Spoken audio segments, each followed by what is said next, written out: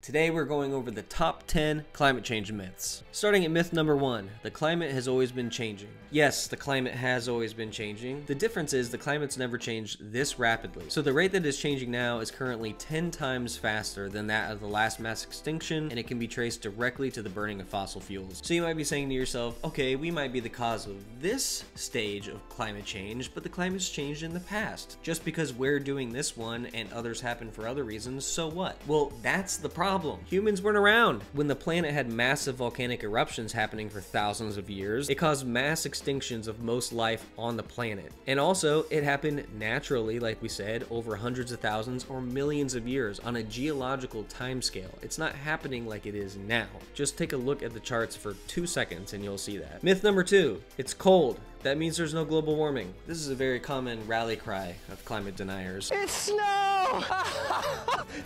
Honey, global warming isn't real! That's wrong on so many levels. First of all, weather's not climate. A particularly cold day or week is a short-term weather trend. It's not a climate trend, which happens on much longer scales. The overall temperature is rising, but that doesn't mean that winter is suddenly going to disappear. It can actually make winter effects worse in certain areas. Look at what just happened in Texas. The Texas cold snap of 2021 is a prime example of global warming causing areas of the world that would normally have temperate temperatures in the winter to experience much more severe weather due to the fact that climate change change is causing chaos to the Earth's usually predictable patterns. So as the planet warms, it also warms at different rates. It's happening much faster and much more extreme in the Arctic, which is causing changes to the jet stream. A weakened jet stream allows freezing temperatures to get down to lower latitudes. In other areas of the world that rely on heavy snowfall and ice, like the Arctic, is losing it. Myth number three, volcanoes spew more CO2 than humans. So this is one of the favorites of conspiracy theorists, flat earthers, people like that. So they come up with these completely out of nowhere numbers and they make me laugh. One thread that I saw online said that uh, humans emit just one ten thousandth of what volcanoes do every year. What a nice round made up number. So yeah, volcanoes and other magmatically active regions emit CO2. They emit about 280 to 360 million tons a year, so that's nothing to sneeze at. But when you compare it to humans, humans emit roughly 34 to 43 billion tons of CO2 every year. That's 100 to 140 times the maximum of what volcanoes do. So no, volcanoes don't emit more CO2 than humans. Myth number four, the sun is causing global warming. This is another favorite one of conspiracy theorists. You might notice a trend here. So you know the sun, that big ball of gas in the sky that we all love that gives us life. NASA has been monitoring it closely and it's actually producing less energy right now and it has been since its peak in the 1950s. In fact, the current solar cycle is headed for its lowest since 1750. So even if you were to ignore all the other data and all the other science about climate change, that wouldn't even make sense given the sun's current output right now. So where this myth comes from is because yes, the sun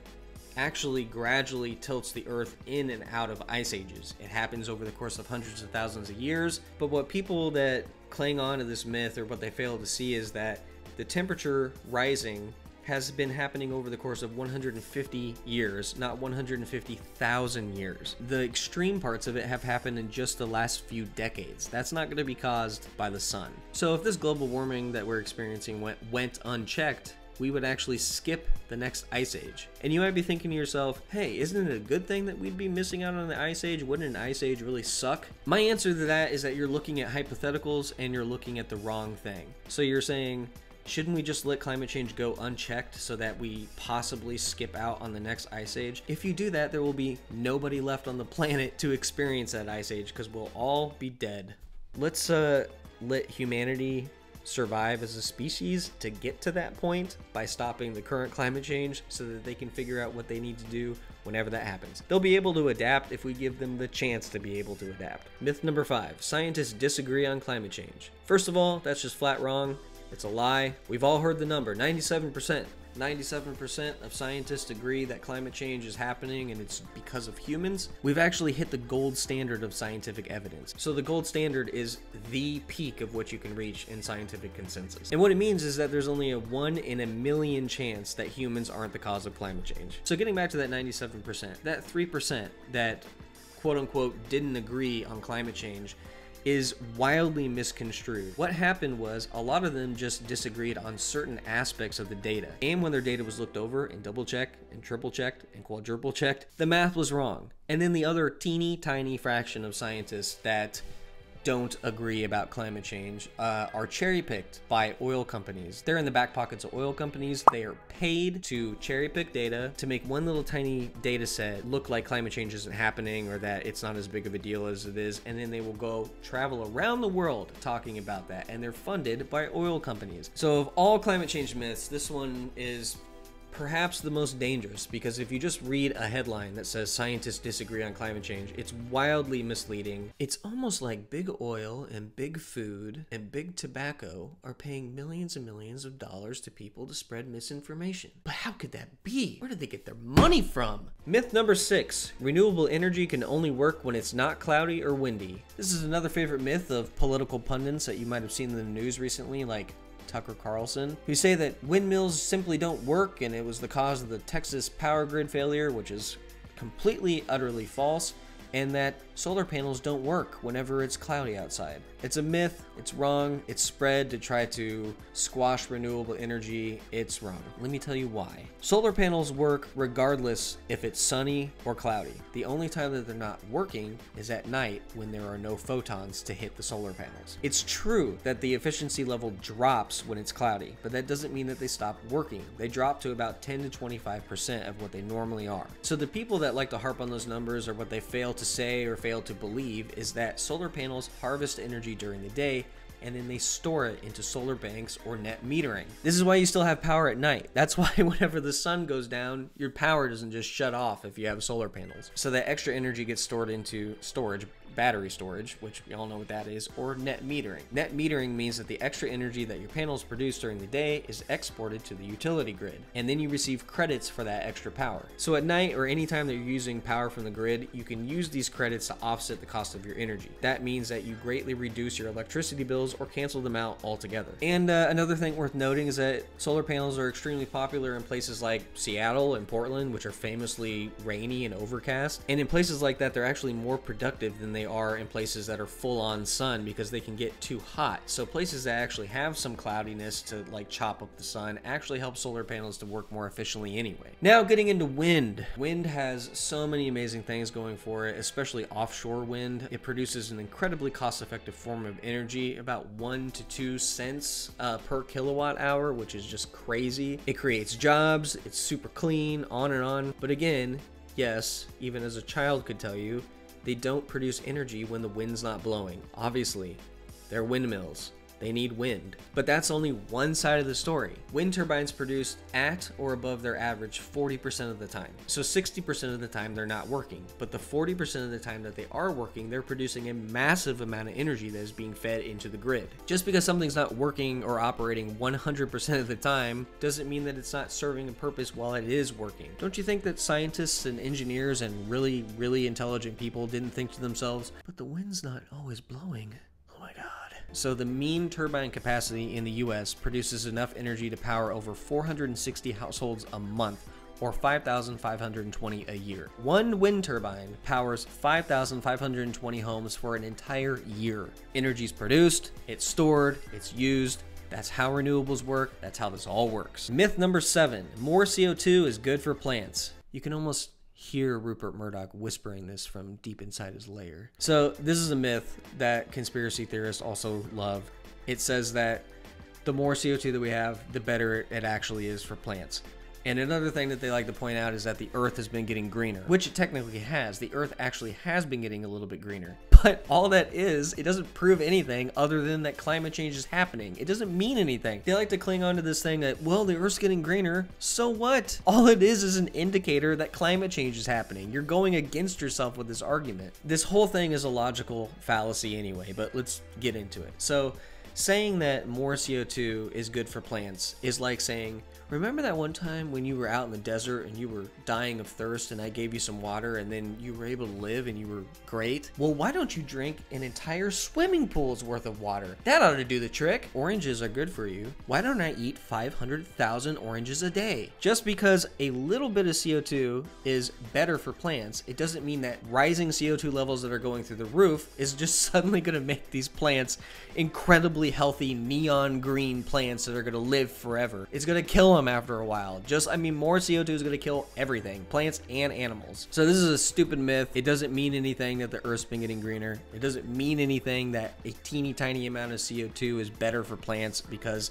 we're not experiencing a tiny amount of CO2. They can't just soak it in forever and it's good for them. It's a stupid myth. I can't believe I'm still talking about it next. Myth number eight animals and plants will adapt to climate change. So, speaking of plants, this is another pervasive myth that uh, animals and plants are simply just going to adapt to climate change. No biggie, no big deal. Wrong. Human caused climate change is happening way too rapidly for plants and animals to suddenly just be able to adapt to it. It's happening at 100 to 1,000 times faster than the normal extinction rate. You can't just expect animals to adapt over the course of 15 years. Humans are having a hard enough time to adapt to climate change, and we have the ability to build all of these things. So just imagine how plants and animals that are inexorably linked to their environment they're not going to be able to just adapt out of nowhere. And yes, animals and plants have adapted before, but you can't compare animals adapting over the course of hundreds of thousands or millions of years. By the way, most life died. Most life didn't adapt, it died but the life that did live and did adapt happened over geological timescales. It didn't happen since the Industrial Revolution in just a teeny tiny short amount of time. So you just logically cannot compare the two. A third of all plant and animal species will go extinct by 2070 if we don't meet our climate goals. That doesn't sound like adapting to me. That sounds like mass dying and loss of biodiversity. Myth number nine switching to clean energy will bankrupt the country. Oh man, let's get into politics, shall we? This one's obviously politically driven. All you need is a little bit of common sense to see that. It's not going to bankrupt the country to switch to a green economy. In actuality, it's going to add $1 trillion to the GDP by 2050, create millions and millions of new jobs, and prevent 65,000 premature deaths a year. I didn't just pull these numbers out of nowhere. These numbers came from modeling, decarbonization studies and modeling, economists, climate scientists. They're not just made up numbers. Let's just pull at one little thread in this myth. Oil companies themselves are divesting away from oil into renewable energy. Doesn't that tell you something? they know that that's the future. They know that that's where money is. They know that the money is in renewables. They know that the economy is headed that way, that that's where jobs are at and they're going to be losing money if they just continue to stay in oil alone. That's why they're divesting from oil and investing in renewable energy. BlackRock, everybody, it's in the news. Look it up. The last thread that I'll tug at with this one is if you don't invest in green energy and a green economy, then you are going to be looking at paying billions and billions and billions of dollars in climate damages every single year if we don't do something to combat climate change. Imagine in 2050 if we don't switch to a green economy and meet our climate goals. You will be paying so much more money than you have to just bury yourself out from underneath these climate disasters that will repeatedly keep happening over and over again if you don't make the switch now to the green economy and prevent all that from happening in the first place. So I got a dual one here for myth number 10. Individuals are to blame slash individual actions don't make a difference. Let's explore both sides of this myth. A lot of blame gets put onto individuals and then a lot of people also say that individual actions don't make a difference. Both of these things are wrong. Oil companies did their best to pin climate change on individuals. So you know the term carbon footprint? I use it, we all use it, it's commonly accepted now but BP actually created it through an ad campaign. They went around and they asked people on the streets, do you know what your carbon footprint is? And then they subsequently shamed everybody and made them look like they were terrible people. So it was actually brilliant from a marketing standpoint. They were shifting the blames from themselves onto individuals, making themselves look better, making it look like they actually care about the environment by doing this, making people think that it was all just individuals' faults. So they let us all know how much we suck and how much we collectively decided to destroy the planet. Remember when we had that meeting? Weren't you at the meeting? I wasn't there. There was a Breaking Bad marathon on, and I, I stayed home that day. They put the blame on us and took the blame away from themselves. But exploring the other side of this myth is that individual actions don't make a difference. So the answer lies somewhere in the middle. We all make a difference. Oil companies might have spent billions of dollars shifting the blame away from themselves onto us, but that doesn't mean that we don't have the burden to now carry because of their mistakes and their greed. We're not entirely blameless, but the blame shouldn't have been pointed directly at us. That's just shifting the blame. But there's a myth that individual actions don't make any difference. Climate change is just too big, too big of a problem. What you or I do doesn't matter.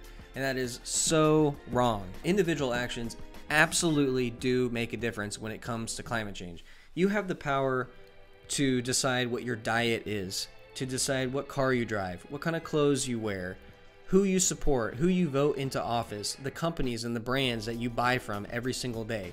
If you decide to stop buying from brands because they aren't eco friendly or they're not doing their part to combat climate change, then all we got to do collectively is stop purchasing from them and go to a company that is. That's how the market works. It's going to cause everybody to green up their practices if we keep repeatedly doing that. And voting, voting is so important. Voting people out of office that don't care about climate change and into office that will make a difference to climate change for now and generations down the road is absolutely key, and we as individuals have the power to do that. So it shouldn't be framed that individuals are to blame, but it also shouldn't be framed that we can't do something about it, that we don't make any difference, because we totally make a difference. We collectively have untold power as individuals, for good or for bad. We have the power to create change. So just because it didn't start off as individuals' faults doesn't mean that it's not now our burden to carry and our burden to triumph over for now and for future generations. Speaking of that, uh, this whole Gen Z versus millennial thing is so stupid. It might be like a TikTok thing. You might be talking about, you know, skinny jeans and baggy jeans and whatever. But uh, Gen Z and millennials, we need each other to combat climate change. Gen Z can't survive without millennials, and millennials cannot survive without Gen Z. We need to work together on climate change. And by the way, the whole emphasis on generations is used by marketers primarily. Don't fall into the trap. We need each other. Thanks for watching. We give away 50% of everything we make to climate relief efforts, so go ahead and hit that subscribe button if that's something that you're into. I really appreciate it. Those are my top 10 climate change myths that I can't stand. Debunked. I hope to see you in future videos, and uh, yeah, thanks for watching.